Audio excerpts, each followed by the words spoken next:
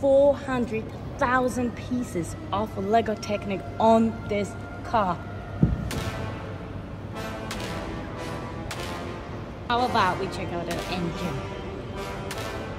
Wow, awesome. Those lights are incredible.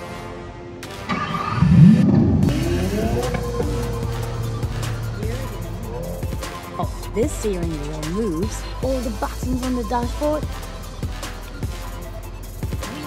Beautiful rose gold rims. And look at the brakes. Look at the. This thing is unbelievable. This is actually the UV paint. All these lights right here made out of Lego